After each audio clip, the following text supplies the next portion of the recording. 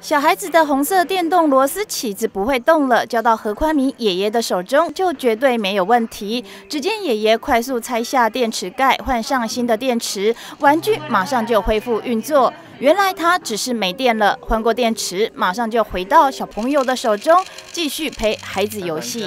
有的零件是比较用久了没有没有没有弹性的疲乏了，他可以把它修短一点，好让它的。原型能够符合这个原来的那个玩具的那个需求的尺寸，哎，他这么脑筋一动，就把一件新的玩具又重生了。以前刘奶奶带着孙子来到新竹市北区亲子馆游玩，发现有小推车推不动，就跟亲子馆自告奋勇带回去给爷爷修理。一次两次之后，亲子馆有玩具坏掉，都来找爷爷帮忙。到后来，爷爷干脆也来当志工，专门修理玩具，让小玩具重获新生。那么，奶奶在填写志工申请表的时候呢，就非常主动的告诉我们，呃，爷爷开五金行啊，何宽敏爷爷开五金行，那么他会修理玩具，家里孙子啊，很多玩具都是爷爷修的。那问我需不需要，我们当然非常欢迎。当下呢。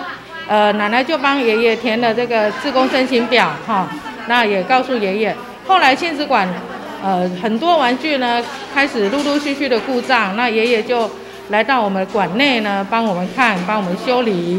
所以我们非常的感谢有这样热心、真诚的志工来帮助我们亲子馆。